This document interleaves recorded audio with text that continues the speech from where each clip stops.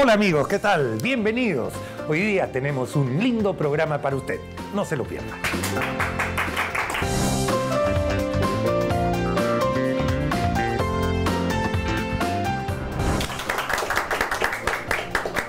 Hola amigos, bienvenidos. Gracias por acompañarnos en este nuestro bloque de consulta con el cirujano plástico. Y hoy día muchos dirán que eh, se está abarcando temas de quizás hasta otras especialidades, como podría ser dermatología, medicina estética, pero qué mejor que un cirujano plástico opte por acompañar a la ciencia y a la tecnología para mejorar, para progresar, para añadir herramientas actuales al trabajo que realizan los cirujanos plásticos. En este caso estamos hablando de la maravilla que ha venido a revolucionar el mundo de la estética médica, médica, y lo repito, no es procedimiento de esteticista, ni de una peluquería, ni de un spa.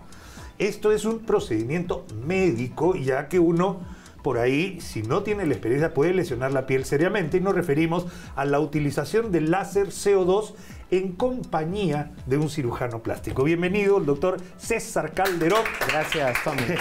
Bienvenido, Editor. Muchas gracias, Tommy, por, la invitación. Efectivamente, nosotros dentro de las múltiples herramientas quirúrgicas y no quirúrgicas que tenemos para complementar el tratamiento de nuestros pacientes, tenemos el láser CO2. El láser CO2 sobre todo llegó a mi consultorio hace aproximadamente 15 años, cuando hubo la necesidad de utilizarlo para el tratamiento de las cicatrices. Yo tenía muchos pacientes que tenían cicatrices, optaba por hacerles los procedimientos quirúrgicos de las cicatrices, hacerles plastía o resección en los ángeles, zetaplastía, subcisiones. Y entonces me vi la necesidad de que quería mejorar aún más eh, eh, lo que hice y me viene eh, recalcando la necesidad de utilizar el láser CO2 para pulir la piel y que la cicatriz quede menos perceptible de tal manera que el paciente esté mucho más contento y la satisfacción propia de un cirujano, ¿no? De acuerdo. Ahora, es toda una tecnología y que ha ido evolucionando. Y ha ido evolucionando con las marcas, con la ciencia y con los trabajos de colegas que los exponen en, congresos públicos, efectivamente. Y hemos visto cosas impresionantes en borrado de cicatrices, pero también en medicina preventiva. Justamente te contaba, César, que hace muy poco eh, me han sacado unas lesiones, algunas eh, no muy buenas y otras queratosis típicas de la edad, de la vejez. Y, de hecho tenía media cara comprometida porque ha sido un trabajo eh, bien exquisito, ¿no? O sea, tengo en distintas zonas de la cara. Pero ya que estábamos ahí, dice la otra mitad también. claro. Y de hecho es un procedimiento que en manos experimentadas se soluciona más o menos rápido, pero uno es consciente que es una quemadura en la cara, César. Claro, es una quemadura controlada. Nosotros programamos la máquina de tal manera que controlamos la profundidad de la quemadura. Es una quemadura bastante superficial. Generalmente utilizamos la primera capa, el epidermis, o la primera capa de la dermis. Generalmente, en mi caso, para prevenir cicatrices o complicaciones producto de esta quemadura muy controlada. Obviamente tampoco este, ponemos en riesgo al paciente, ya nosotros sabemos con la experiencia, tenemos un margen, la máquina también se, tiene una programación máxima que no lesiona, no va profundamente. Entonces, y nosotros obviamente también con los cuidados hacemos que la, programamos a la máquina de tal manera que no hagamos, no hagamos daño. ¿no? Generalmente la gran mayoría de lesiones que nosotros pueden llegar al consultorio se van a la, a la epidermis y la primera capa de la dermis, de tal manera que la regeneración o la revitalización de esa zona es bastante fácil sin dejar mayores consecuencias.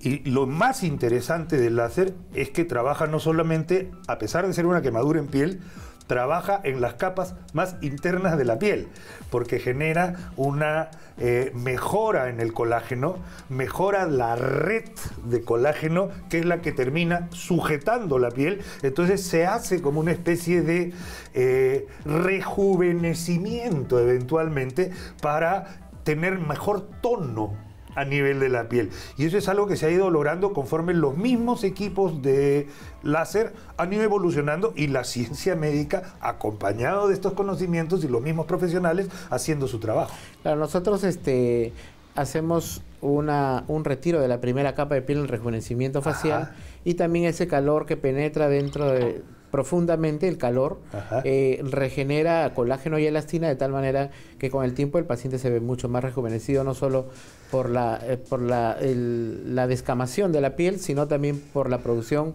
de nuevo colágeno y elastina de las células que quedaron entonces el paciente se ve mucho mejor en los rejuvenecimientos faciales. Y eso es no es inmediato, es a los 3, 4, 5 meses todavía. exactamente. sigues mejorando, Sí, vas mejorando a medida que pasan los meses. Utilizo bastante también el láser CO2, donde, donde también este, fue una de mis prioridades por utilizarles en la secuela de acné severo. Claro que sí. En la secuela de acné leve, moderado y, cicatriz. y severo, que es una cicatriz, se utiliza, pero yo como cirujano plástico me llegaba en consultorio secuela de acné severo, de tal manera que mm, tuve la necesidad de utilizar el láser CO2 para evitar este, mayores este, intervenciones quirúrgicas como subcisiones, resecciones. Con el láser CO2 me, facilitó mucho y mejoró bastante eh, el aspecto de nuestros pacientes, también para secuelas de UTA, que también ha ido bastante bien en mis pacientes y obviamente en los pacientes con cicatrices. ¿no? Perfecto. Y por, por último, me gustaría tocar el tema de, eh, de, de que, por ejemplo, este tipo de cosas, acrocordones y lunares. Esa es otra cosa, porque antes hacía o con cauterio, o con nitrógeno líquido, o con resección. Entonces, y esto, el láser sí ha venido a reemplazar y a ser una herramienta muy útil para este tipo de lesiones. Sí, obviamente eh, nos deja muy pequeña cicatriz. Utilizamos el láser CO2. Primero tenemos que descartar el tipo de lesión, obviamente con una ectoscopía hacemos, vemos que la lesión no es maligna y utilizamos el láser CO2 para vaporizar el lunar y obviamente estos lunares elevados son los que mejor quedan con una resección. Igual los sacrocordones, como vemos en la imagen, utilizamos el láser CO2 eh, de manera puntual, ¿no? De manera puntual. Puntual. A cada lunar su dosis. Su dosis. Exactamente, colocamos, yo generalmente coloco anestesia local en la base de estos lunares, de tal manera que... Una agujita finísima, Muy fina. Muy fina. De tal manera, aguja 30 utilizamos, de tal manera que el paciente no siente nada, y hacemos la resección de estos lunares con una satisfacción bárbara porque como pueden ver... esta señora lo ha tenido por lo menos 30 años o 20 años, ¿no es cierto? Esos lunares. Y de un momento a otro, en menos de una semana, está como al otro lado. Le agradezco muchísimo al doctor César Calderón, le agradezco muchísimo a usted, señor, señora, por su presencia. Nosotros vamos a seguir con más de nuestro programa con información muy valiosa para todos. Gracias. Gracias. Hemos tenido un tema muy interesante. Estoy seguro que le va a encantar el siguiente. No se vaya. Bienvenidos amigos, muchísimas gracias. Este es nuestro consultorio audiológico en la consulta con el audiólogo. Hoy día vamos a hablar acerca de cómo cambia la vida cuando uno utiliza a pesar de haberse negado a veces inicialmente, eso lo sabes con mucha precisión, y lo hemos recibido ahora con el testimonio de Efraín, por ejemplo, cómo te cambia la vida cuando usas los audífonos medicados. incluso hemos hablado de términos muy específicos, como por ejemplo, cómo se puede retrasar el proceso de envejecimiento cerebral, que a veces puede llegar a ser galopante, cuando uno utiliza los audífonos y resocializa. Así es, así es. Lo que pasa es que el cerebro eh, aprende, todos los días aprende, reaprende, repasa. Entonces, ¿cómo funciona esto? Ingresa la información en, en el cerebro de cualquier persona, procesa la información y después de procesar, organiza lo que tiene que hacer. Entonces, es un continuo aprendizaje, feedback y además entrenamiento. Entrenamiento permanente. Como una persona que hace ejercicios en un gimnasio, pues refuerza la musculatura, es lo mismo. ¿no? Pero, ¿qué sucede cuando la persona empieza a perder la audición? Todo esto se va lentificando cada vez más. ¿no? Entonces, esto quiere decir de que ese proceso, el cerebro empieza a desacelerar su función empieza a perder su función. Más el aislamiento, más, el, aislamiento. Entonces el estrés, la preocupación, la falta de socialización con la gente, el aislamiento social, todo esto va a afectar definitivamente la parte Ace- ace- cognitiva. acelera el Acelera proceso de envejecimiento cerebral, que es lo que termina llamándose demencia senil. La demencia senil. Y ojo, ya se ha hecho un estudio, y lo hemos conversado, de que ha hecho un estudio de tres años. Personas que no han utilizado audífonos han tenido un proceso de demencia senil galopante. Versus personas que han utilizado audífonos medicados, ellos se ha retrasado hasta un 46% su proceso de demencia senil y también la aparición del Alzheimer. ¿no? Entonces es importante de que no solamente el utilizar un aparatito como este te va a devolver la audición, sino te va a volver a socializar, vas a poder volver a conversar, a ejercitar tu cerebro, a terminar proyectos truncos y una serie de actividades propias y natural de la persona que lo va a llevar pues a un término adecuado, a una mejor calidad de vida. Hace poco hemos escuchado eh, el testimonio del señor Efraín Aguilar Maestro, ¿no? el creador de eh, Al fondo hay sitio, algo que tiene 20 años en pantalla, eh, o sea, cosas espectaculares.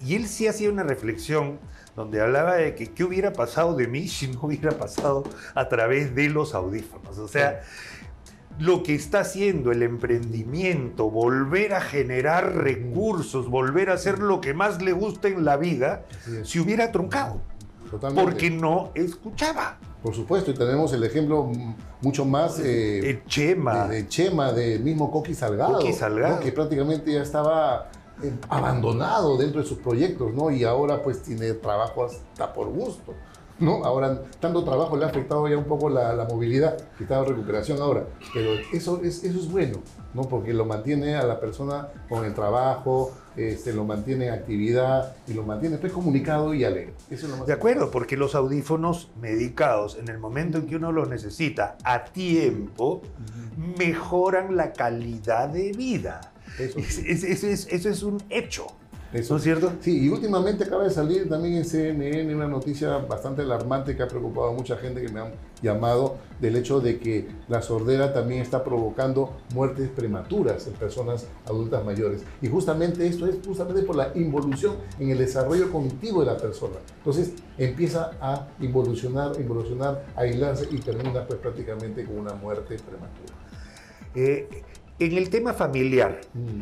Eh, también he oído que eh, la persona que vuelve a la comunicación normal, entre comillas, Mm. dentro de la misma familia, Sí.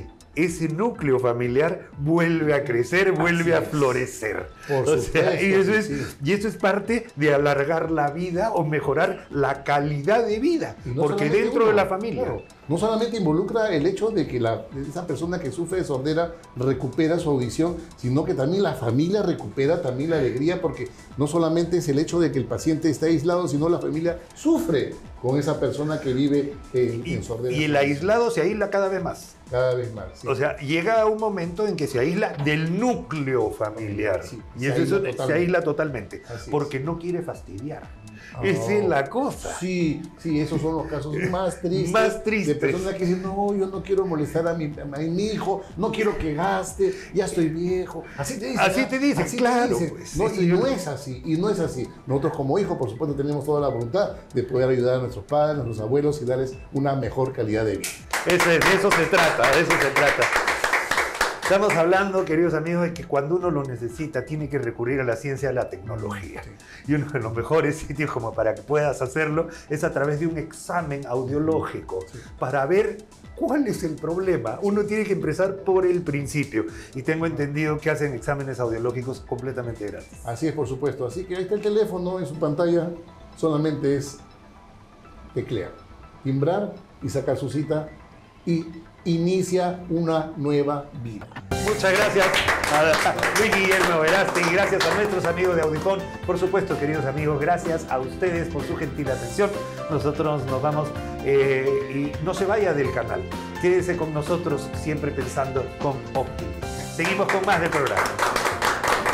Señora, regresamos en un ratito. Tome lápiz y papel porque tenemos cosas muy importantes para usted. Muy bien.